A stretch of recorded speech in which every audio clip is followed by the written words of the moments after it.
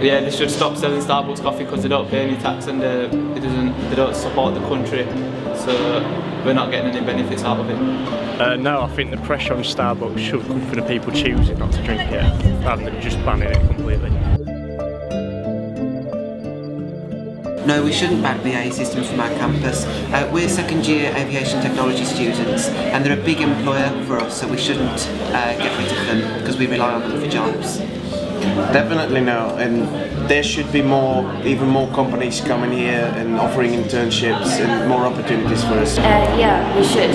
They're, they're investing into warfare, which destroys the human population, and I think we should be investing into the futures and what we can do to help humans instead of destroying them. I don't think so. I think we've got Unipol already.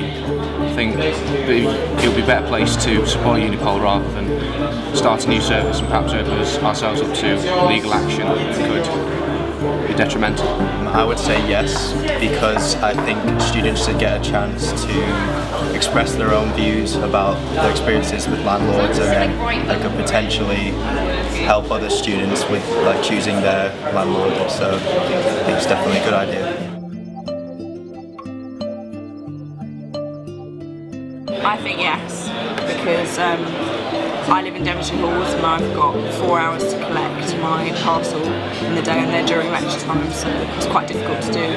If you have, if you nominate someone, it's, I think it's quite a trustworthy system to do. Personally, we're saying no because um, we think it's fine as it is. The only thing we would change is that the timings uh, would be slightly different. Room slightly later, but um, uh, there is obviously the security risk, so we're saying no.